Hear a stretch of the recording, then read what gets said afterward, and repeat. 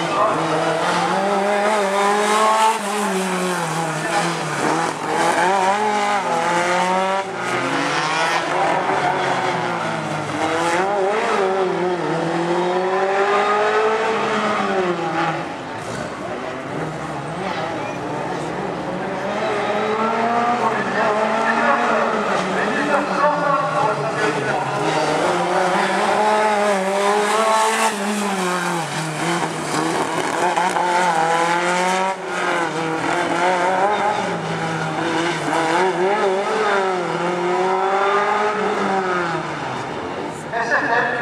c'est sentent ensemble